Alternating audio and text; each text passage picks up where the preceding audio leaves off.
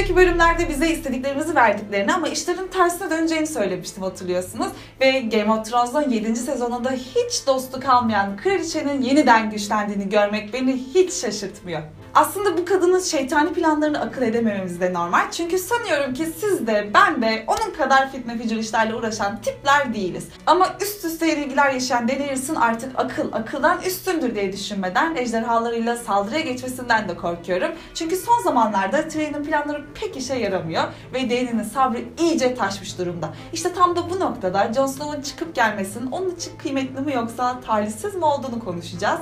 Çünkü bu bölümde 6 sezondur beklenilen gerçekleşti. Ama işler bizim istediğimiz gibi mi olacak henüz emin değiliz. Bölüme John ve Davos'un Dragonstan'a ayak basmalarıyla başladığımızda canımı sıkan ilk olayın Jon'un ulu kurdu ve kadim dostu olan Ghost'un neden gelmediği oldu. Çünkü Kuzey'in kralı olarak Dany'nin daha önce hiç görmediği bir yaratıkla çıkıp gelmesi daha doğru olurdu. Ve bana sorarsanız Ghost da en az Dragon kadar etkileyici bir yardımcı. Ama onun yerine Davos'un Missandei ile başarısız flörtünü izledik ve Jon'un Dany ile karşı karşıya gelmesiyle de Westeros tarihine yazılacak bir sahneye daha tanıklık ettiğimizin farkındasınız This is Jon Snow. He's king in the north.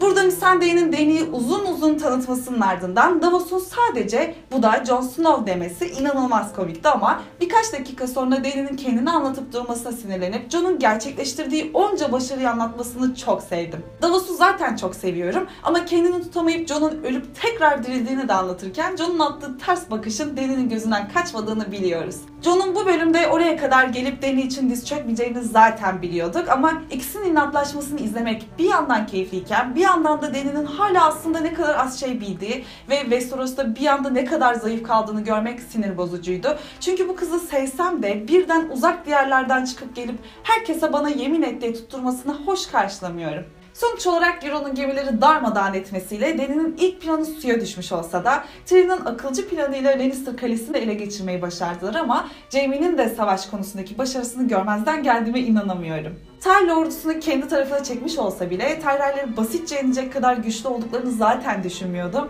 Ve Dany'nin tarafında hiç Tyrell gemisi ve askeri var mı yok mu şu an onu da takip edemez haldeyim. Beni bu hale getirdiler çünkü artık herkes bir yerden bir yere kolayca ışınlanırken savaş sahnelerini de ciddi şekilde geçiştirmişler. Ve ben lekesizlerin kuşatmasını izlerken bir süre gerçekten de izlediğimiz şey yaşanıyor mu yoksa Tyrion'un kafasındaki planı mı izliyoruz emin olamadım. Tabii ki her bölüm büyük bütçeli savaş sahneleri izlememize gerek gerek yok ama siz de kabul edersiniz ki burada işler fazlasıyla geçiştirilmiş. Bu sırada onca şey olurken Arya'nın hala Winterfell'e ulaştığını görebilmiş değiliz ama en azından Bran'ın Sansa ile buluşmasını izlemiş olduk ki o da inanılmaz garip sahnelerle doluydu. Öncelikle Bran tamamen duygusuz birine dönmüş durumda ve Sansa ile yaptığı ilk muhabbetin Sansa'nın düğün gecesiyle ilgili olduğuna ve o gecenin ne kadar güzel bir gece olduğunu söylediğine hala inanamıyorum. Tek bildiğimiz Bran'in Jon Snow'la konuşmak istediği ve tüm Targaryen mevzusunun da zaten orada patlak vereceği ama o sırada muhtemelen Dany de Jon'la birlikte kuzeye gelmiş olacaktır diye umuyorum. Ki öyle olursa herhangi bir baş kaldırma durumunda Akgezenler ve ejderhalar arasında kalan Kuzeylilerin Jon'un bir Targaryen olmasına çok da itiraz edecek bir an bulamamaları normal olur. Bölümün çılgın olaylarından bir başkası da Euron Greyjoy adlı pisliğin Cersei'ye sunduğu hediye oldu. Çünkü kendisi bir an önce evlenmeyi beklese de Cersei onu savaşı kazanıncaya kadar sallamış durumda ama Elleres'ini de eline geçirdiği için yaşadığı mutluluğu gözlerinden okuyabilmek güzeldi. Kızını da misilleme yaparak zehirlemesi ve annesinin kızının ölümünü ve çürüyüşünü yavaş yavaş izleyecek olması yeterince kan dondurucu olsa da belki de onları bu durumdan kurtaracak bir hikaye olması da mümkün olabilir.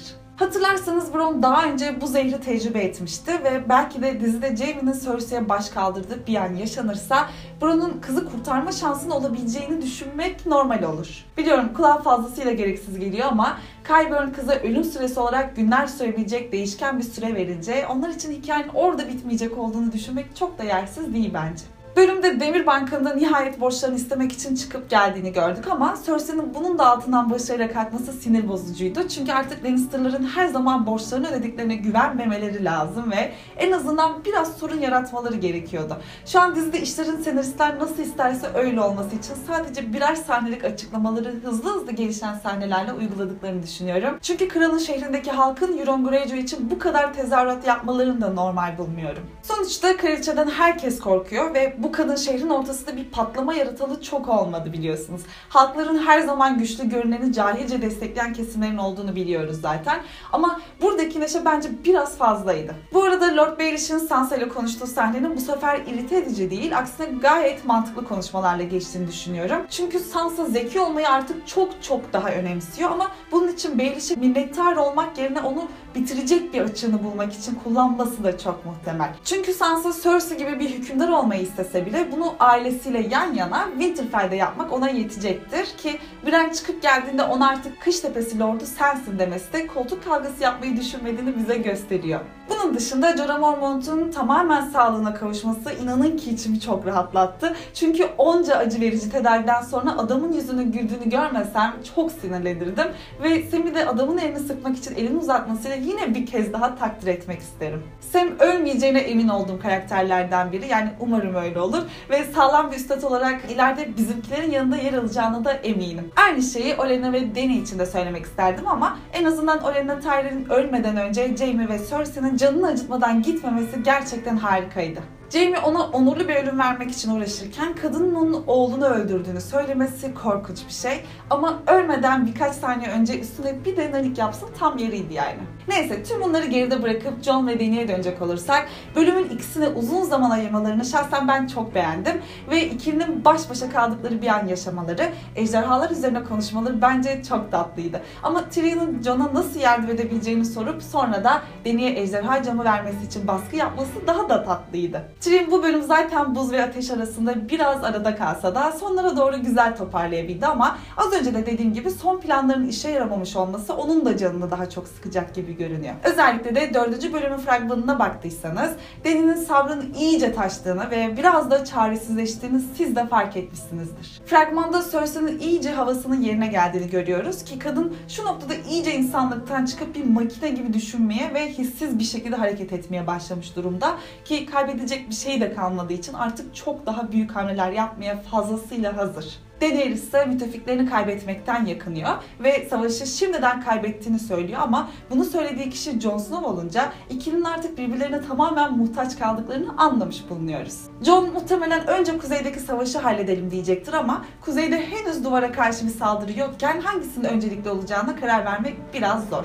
Bence bu sezon Jon kuzeye dönmeden önce sezon fragmanında gördüğümüz bu savaşta Dany'nin tarafında yer alacak ve büyük ihtimalle de Tyrion'un savaş planlarının tek tekrar işe yaradığını göreceğiz. Çünkü şu an olan bitenden çok uzaktalar ve bu kadar uzaktan olayları yönetmek o kadar da kolay bir şey olmasa gerek. Fragmanda ayrıca Littlefinger'ın hançerini çektiğini ve Sansa'nın kayıtlı belgeleri ve yazışmaları kurcaladığını görüyoruz. Ve buradaki en iyi ihtimal Sansa'nın Boltonlar ve Littlefinger arasındaki bir yazışmayı bulacak olması. Çünkü Bran'ın Sansa'ya düğün gününü hatırlatması boşa olmamalı. Sansa Littlefinger'ın o gün yaşananlarda bir parmağı olduğunu fark ederse kale içerisinde büyük gerginlik olacaktır. Ama Arya'nın da oraya varmasına ramak kaldığını görmüşken önümüzdeki bölümde Baelish'in sonunun gelmesi muhtemel. Tabi Baelish'in desteğinin geri çekilmesi de. Sonuç olarak haftaya tüm bunları konuşuyor olacağız. O yüzden abone olmayı lütfen unutmayın. Ve 3. bölümü izlerkenki tepkilerimizi yayınladığımız videomuzda bugün yükledik. O yüzden onu da mutlaka izleyin. Çünkü bu sefer Murat abi GF konuğumuzdu ve